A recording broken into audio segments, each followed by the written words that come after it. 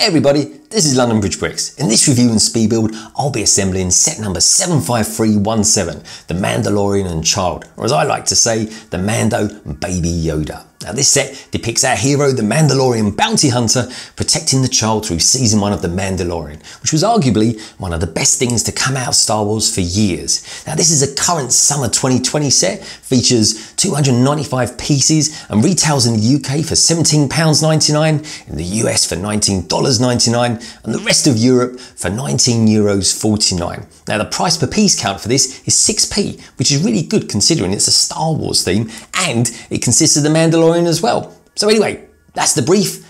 Let's dive in and take a closer look.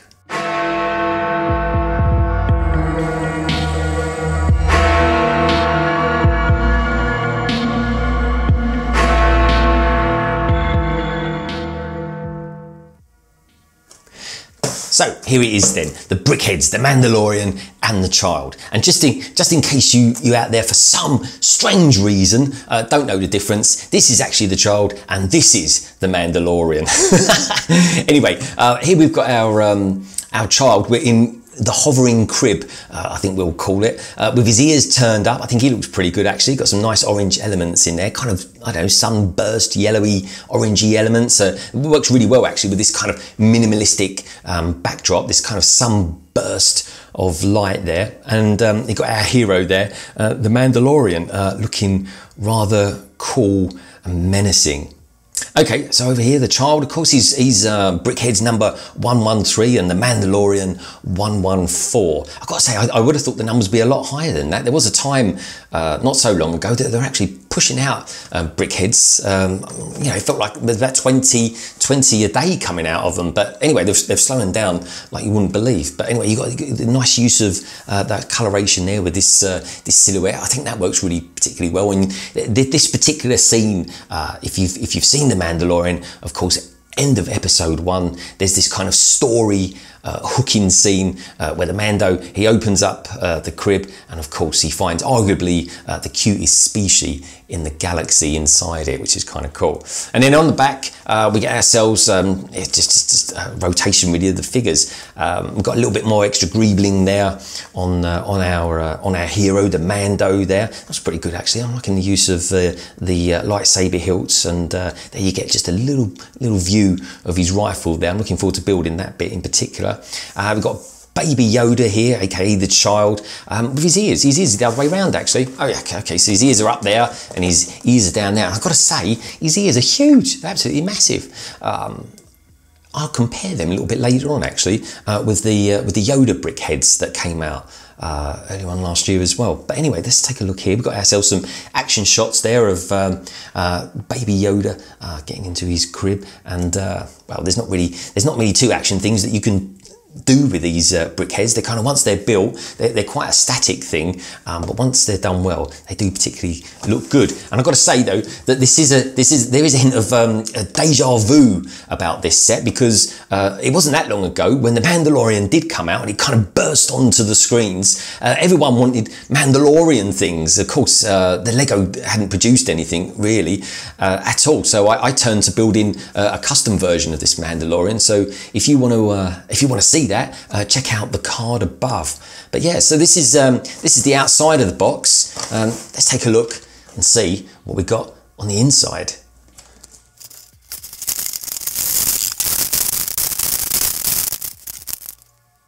Okay, so we get ourselves two instruction manuals, one for the child and one for the Mandalorian himself. Interestingly, we get five bags, two labelled up as bag one and three labelled up as bag two, which is uh, a bit weird really. I don't know why they could just can't do one to five, but anyway, maybe uh, you can tell me down in the comments below. So it looks like we're going to be starting off yeah, instruction manual one, which is obviously the child, and then you've got the, uh, the, the crib here from from bag one.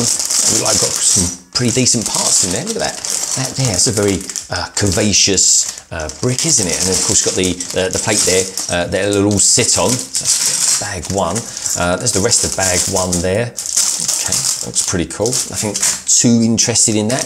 bag, let's go over to bag two. Was there some parts that are interesting there? There we go, got the lightsaber hilts, uh, very silvery ones as well. Look at that, I think I can just about make that out. But yeah, they're super silver, those ones. are virtually chromed off. And then in bag two here, what have we got? Anything interesting in there? No, not particularly too interested. Got some um, very chromy coloured uh, studs. That's quite cool. I always like those. And uh, I've got these hook pieces there that all kind of make up uh, the uh, disintegration rifle. Uh, and over here, oh yeah, here we go. With it, with the brick heads, the inevitable, uh, the brain, the two by two pink brain. I always like that. It always makes me giggle. That does. I've got them. anyway, let's have a look at the um, instruction manual. So child one, where we at with him? let's take a look in there. Yeah, it kicks off with the crib. So pretty interesting stuff. Let's look on the back here. There we go, Star Wars 2020. There we go. And uh, that's kind of where we want to get to uh, with the uh, with the baby Yoda, the child. Let's take a look at the Mandalorian. Yeah, I do like that It really pops, doesn't it? It really looks um, it's a really nice piece of artwork. I like that. Um, when Lego uh, do it right, especially with the minimalistic look, uh, I think it looks really good, some of their stuff. Yeah, there we go. There's our angle. Back to is all about the Mandalorian here. And then at the back here, what have we got? We've got the parts list there. Uh, here we are. There's that curve, curvaceous uh, brick piece. I don't think, think that comes out too well actually because it's white, uh, white on a very pale grey. Um, but this is this is gonna this is kind of interesting. Look at these here. Look at these uh, these sets that are coming out here. I particularly like uh, this one here. I think this is so different actually. Seven five two nine three.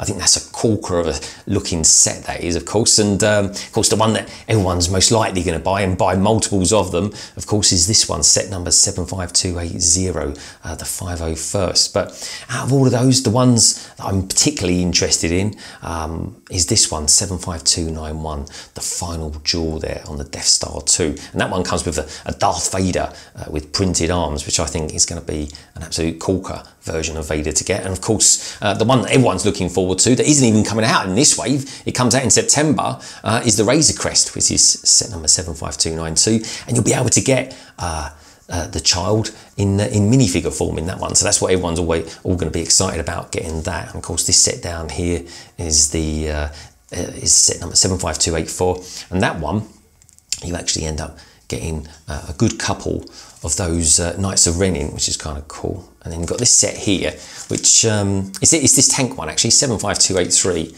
Uh, you get some cool figures in with that. There we go. If I just saw that there, you can see the sort of figures that we're all getting out there. Quite quite a good mixture of figures. Uh, and there and there he is. Said uh, said baby uh, baby Yoda just there. It's tiny, isn't it? Tiny. Um, so yeah, so so yeah, that's our uh, that's our instruction manual uh, for uh, uh for the Mandalorian. Um, I think it's time now. Let's go do a, a very brief uh, speed build, and then we'll get back to the review.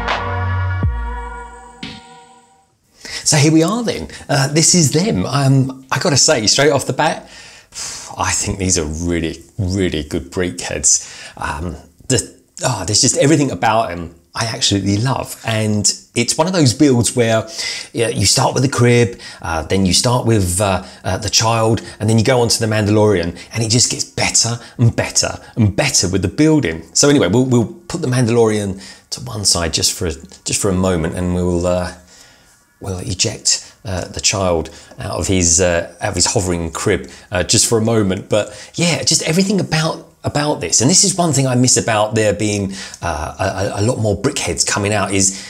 Oh, you get some really nice building techniques and you get some decent bricks and prints as well. Um, for example, uh, I know I keep going on about them, uh, I can't help myself. Uh, these these here, these um, these kind of bulbous bricks there, they are brilliant. I mean, look, they absolutely finish that off so so well. I think they look great. I really do. I'm loving the uh, the kind of uh, orangey yellow uh, pieces that are just there. And and the techniques used to build it is is absolutely brilliant. It really is. Got these lovely great big um, slope bricks here. And they're cute i've never actually used them on any builds before. But uh, the, the technique of holding this back section onto here is really clever. It kind of you think to yourself well where's this going then? And and uh, and then all of a sudden, it, it, you kind of get to that point where you're adding more bricks to it, and you're like, ah, oh, what a fantastic idea. So, you know, the designers for Brickheadz have to be so clever and use the elements in such a unique way that I truly hope that Brickheadz doesn't become a kind of a thing of the past. But anyway, I guess time will tell. So, the, the crib itself is, is really nice. Got this lovely great big plate there. Got these lovely great big bricks that make it up as well. And then uh, our our uh, our kind of uh, uh, child is kind of perched there on those two jumpers just in there like that, and it kind of sits in there really well. Another good element uh, that comes with this uh, particular build is this uh, one by four plate as well. That's got this. It's kind of like a one by four plate with hook, uh, and it's just like um, it's just like having a crib uh, with handles. I think it's uh, I think that's a really nice touch. Lots of detail, and that is um, that is definitely a theme about this this dual pack is that you've got plenty of detail in everything that you actually build as well. So anyway, so that's the crib. Um, what about its uh, inhabitants, of course? So here we are. We got the we got the baby the the, the, the baby Yoda or, or, the child. I mean, I, one thing that I found it may actually I don't know if it came across when I was in the speed build because the camera probably uh, kind of shuffled a little bit, but I was laughing out loud because uh, inside baby Yoda, like all Brickheadz, you get you always got these uh, these brains. They're normally speaking there is like a, a pink uh, two by two brick, but on this one is like a, a one by uh, just a one by one brick, and it just made me laugh that they, the fact that they still kind of keep keep the theme of uh, Brickheadz brains going. But you know, again, it's it's just it's just really nice, and there's there's a lovely use of this um, kind of sandy beige color uh, that goes around, and you've got this kind of slightly scarf effect. Uh, going around his neck there, and it's really good. I mean, that is quintessentially Baby Yoda, folks. It really is. Um, you know, it's. I, I, think the Lego guys have done a really good uh, version of him. My only, my only downside to him, the only negative I would say about him, because I, th I, think they've done a fantastic job, is is. His ears are just humongous. He, he's like a. Uh, he's, he's got the ear rolls of a, a, a big friendly giant. He really has. I mean, just just to give you some sort of comparison, and the differences is over here or over here maybe I should say, is uh, is, is the is the um, is Yoda. So this is what he he, he will look like uh, 850 years from now, uh, and maybe it's just a thing. Maybe with this particular uh, cute species. Uh, their ears get smaller as they get older. I'm not. I'm not too sure. Or maybe they just grow into their ears. Maybe. um, but yeah. Anyway, the, I mean, you know, you got the. You can definitely tell he's a younger a younger version of this particular species. And uh, again, uh, you know, I always like the original Yoda anyway because I, think it's got a lovely little print going down there, and that's one of the the things that I love about Brickheadz. When they when they get it right they do a fantastic job. But i gotta say though he still you know he still looks pretty cool and of course one of these things here. Let's, let's put his let's put his ears down there we go, like that. There we go. He's just been told off and uh, sent back to his crib. but anyway, I think I think he's absolutely super. I really do. He is a great little build. That there is absolutely awesome. Now, talking of awesome, let's let's take a look at the Mando himself then. Oh, look at this. Now this is absolutely lovely. And I tell you who it go really well with as well is Boba Fett. If you've got Boba Fett and you've got this guy as well, uh, you, are in for some serious Brickheadz uh, treats. You really are. And just like Boba Fett, you've got these prints here for the uh, the armored cheekbones. I really like that. I think the um, uh, that that print is, is really really good and it kind of sets it off well. And when I did the uh, the custom version of the Mandalorian, didn't have those pieces, um, but I got to say that really does make it better. And the difference between this and the custom, well, if I'm honest, the custom did a really good job. It really did. It's just that this version is just that little bit more refined. I've got to say, and and just look at look at the way there, the light uh, just catches on his visor. Doesn't that look good, eh? I'm loving it. I'm really yeah, makes him look really mean and menacing. Um, but then I guess really, if you uh, if you watch the last sort of two minutes of episode one, you kind of think to yourself, nah that uh, that Mando. He's a big softy, really. Um, so yeah, so right around the back here, you got he's you got that fantastic rifle of his. God, you wouldn't want to get hit from that. I tell you, there's no um, there's there's no coming back if you get hit by one of these shots. That's for sure. You got this lovely uh, snot. Um, technique used on the back here for his cape there that looks good doesn't it i'm liking that you got that lovely greebling that i spoke about earlier on uh, using those hilts there. Um, not too many prints to go on about. You've got these two pieces there, obviously, as I just said, and, and you've got this um, a light blue uh, azure line really on his on his shoulder pad. There was definitely more detail in the Bo Boba Fett, uh, or more prints, I should say, in the Boba Fett version of um, him. And if you've actually built both of them, if you've built this one, um, or and you've built Boba Fett, which which particular one is your favourite? I, I, kind of like them both quite differently because they are, let's face it, folks, um, quite different characters, really, aren't they?